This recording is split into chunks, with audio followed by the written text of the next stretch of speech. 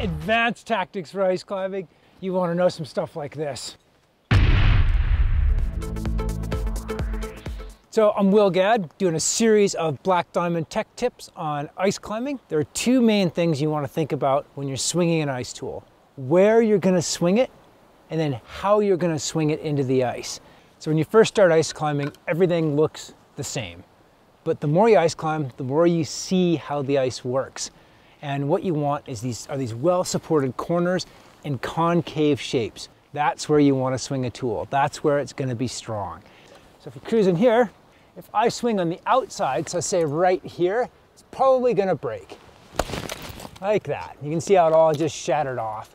Whereas if I go for the inside, maybe right here, oh yeah, that's what I'm talking about. So that's the difference between hitting on the inside corners of things versus the outside out here. You can see it all just keeps breaking. This is generally an, a, a concave area, but right here is a little part back in there. And if you swing into there, it's truck. And then anytime you can get even a little bit of a, a place where the ice has, is, has a corner into it, like this is a bit of a horizontal one here, it might actually work if you're delicate with it.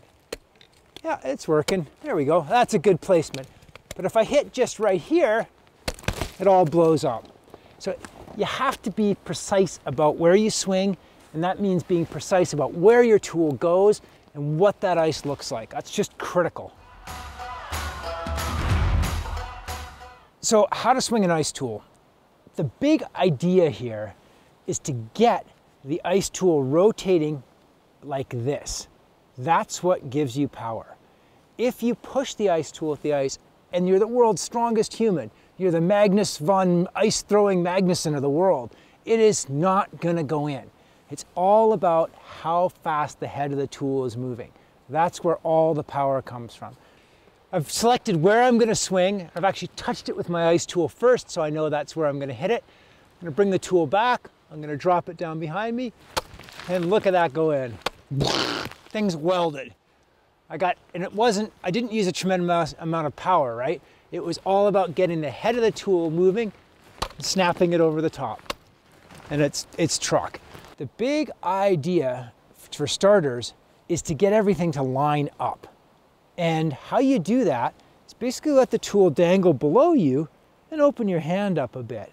And you can see the tool just kind of rotates really easily around my little fingers here, my two smallest fingers.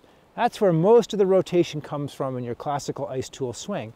You can notice how it's just spinning on that point. Then you want to line up these two fingers with the axis on the back of the tool, the spine.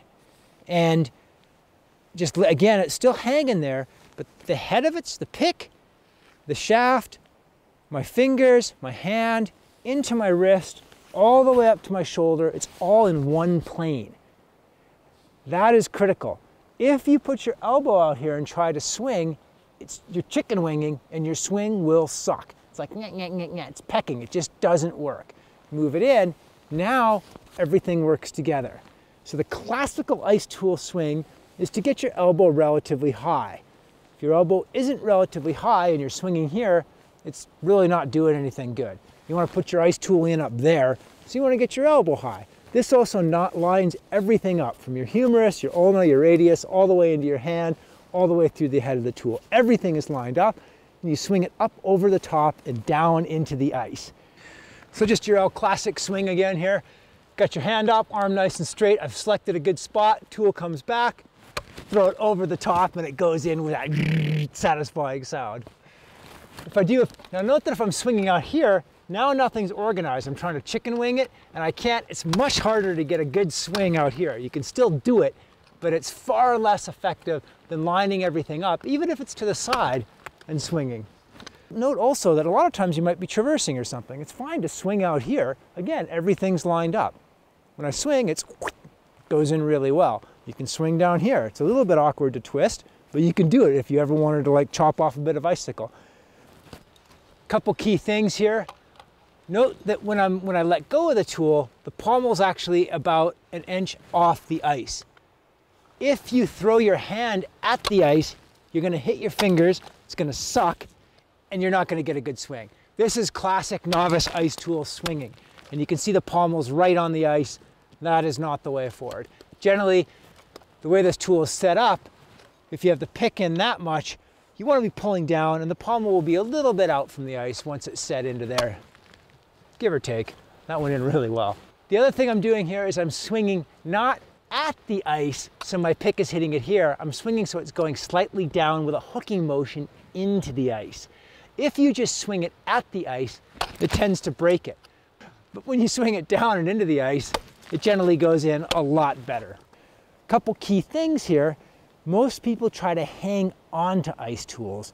So they rotate their hand around so those bones in the tops of your fingers are across the tool like this. As soon as you do that, you cannot swing your wrist effectively. It's like, mm -mm, right? You can't bend your wrist like that. It just anatomically doesn't work. So you got to make sure that what lines up are the bones on the front of your hand right down there. You want to line all of that up. You cannot actually swing an ice tool well here. And that's where everybody grabs an ice tool right out of the bed. You try to use your wrist, it just can't bend versus it goes right through. So key things there, line everything up, have your hand in this kind of swinging position, roughly like that. Bring it up over your head, let it drop back, everything's nice and lined up, and it's like cracking the whip. What you're trying to do is get the head of the tool to move really quickly. So everything lines up, you extend your arm up like that, accelerating, and then the tool snaps through and follows through like that. Again, if you have your hand cocked like this, you can't follow through. Most people tend to swing at the surface of the ice, so they swing here. You don't want to do that. It's like a martial artist. You don't kick at the board, you kick through the board.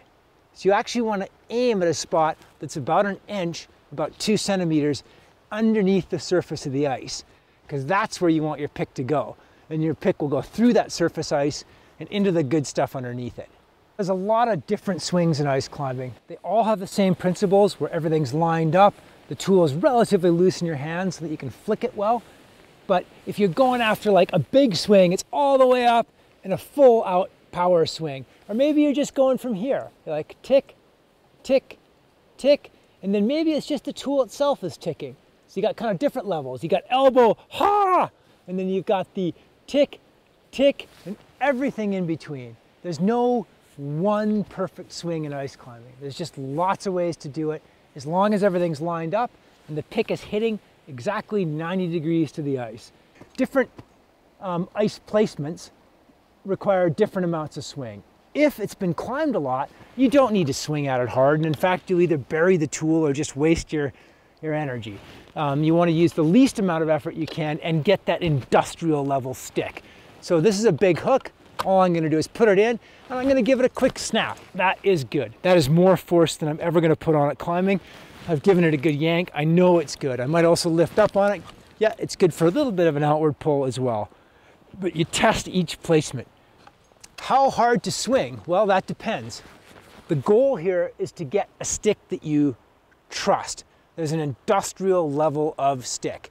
The more time you spend ice climbing, the more times your feet are gonna blow, and the more times this is gonna be your belay. So I like to have, in general, good tools and swing as many times as you have to. So you may start off just with a little bit of bad luck or whatever, you swung in some place and the surface ice broke and you had to keep swinging.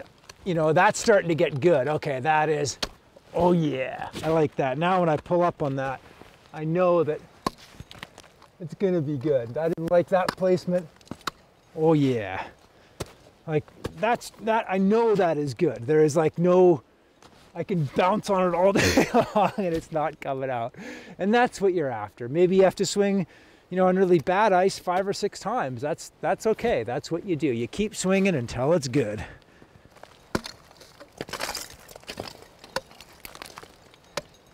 Yeah, that's what we're after. That, that's a good placement, but it took me like five swings and I'm gonna give it a quick test. If there's any doubt, give it a hard snap. Like that is way more load than I'm ever gonna put on it picks in there. You heard the sound, it's good. You know, you, you know it's gonna stay in there. And then when I move up, I'm gonna have total confidence in that.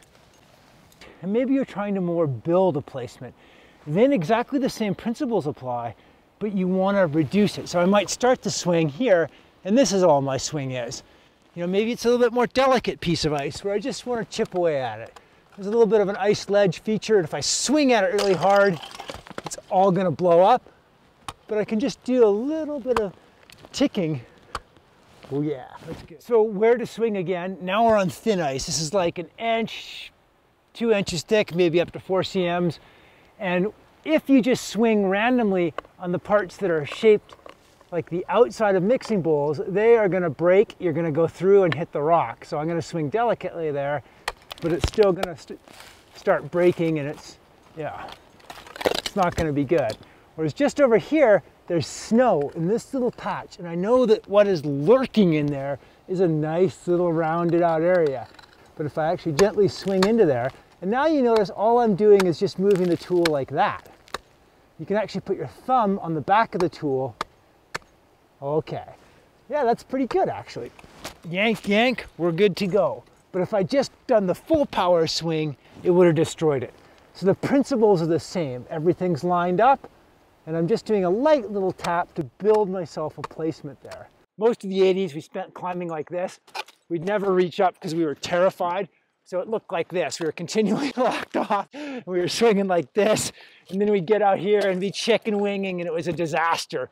So line everything up, little flick to a huh, to just tick, tick, tick. So where to swing and knowing how to swing and you'll get good sticks, industrial quality. That's what you're after.